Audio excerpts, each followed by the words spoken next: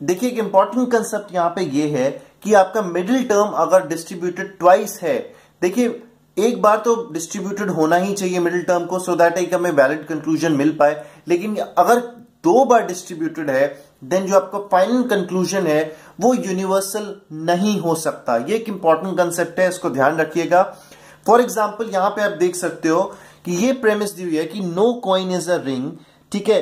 तो इस वाले में आप देख, जानते हो कि सब्जेक्ट भी आपका डिस्ट्रीब्यूटेड होता है और प्रेडिकेट भी आपका डिस्ट्रीब्यूटेड होता है। That means coin and ring both of them will be distributed ठीक है? और इस वाली प्रेमिस में ऑल रिंग्स ऑफ़ बैंगल इसमें केवल आपका जो सब्जेक्ट होता है वो डिस्ट्रीब्यूटेड होता है। ठीक है? यहाँ पे आपका केवल सब्जेक्ट डिस्ट्रीब्यूटेड होगा। एंड आप देख रहे हो कि दोनों प्रेमिस में आपका जो कॉमन जो टर्म है, वो है हमारा क्या? रिंग्स ठीक है? तो अब आप यहाँ पे इस रूल के अकॉर्डिंग आपका जो क्वांटिफायर जो यहाँ पे लगेगा, वो यूनिवर्सल नहीं लगा सकते। हमने पढ़ा था कि नो एंड ऑल है तो हम हमेशा नो लगाएँगे राइट बट इस वाले केस में, क्योंकि डिस्ट्रीब्यूटेड ट्वाइस है, हम यूनिवर्सल क्वांटिफायर नहीं निकाल सकते। बिकॉज़ ऑल एंड नो ये दोनों के दोनों आपके यूनिवर्सल क्वांटिफायर है।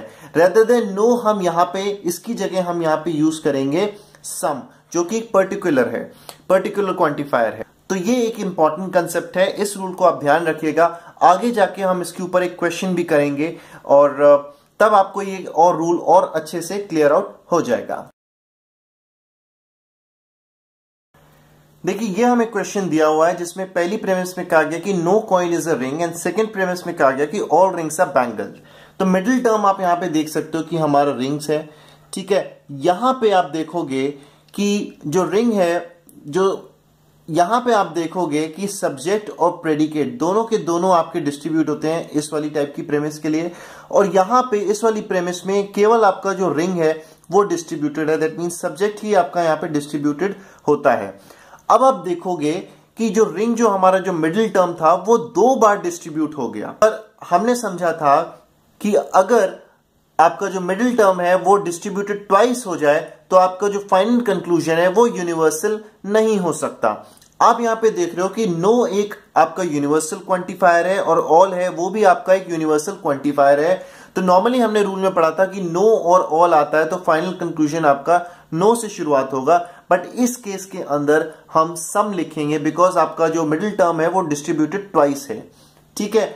और क्योंकि नेगेटिव नेगेशन भी यहाँ पे है, ठीक है? नेगेशन भी हमने यहाँ पे यूज़ किया है तो आंसर जो है आपका पर्टिकुलर नेगेटिव होना चाहिए।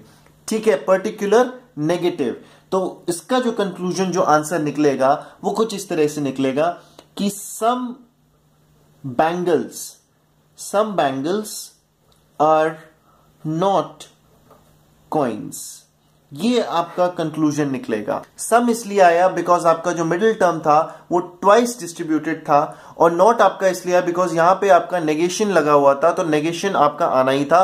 तो इसलिए जो फाइनल कंक्लूजन था वो पर्टिकुलर नेगेटिव होना चाहिए था।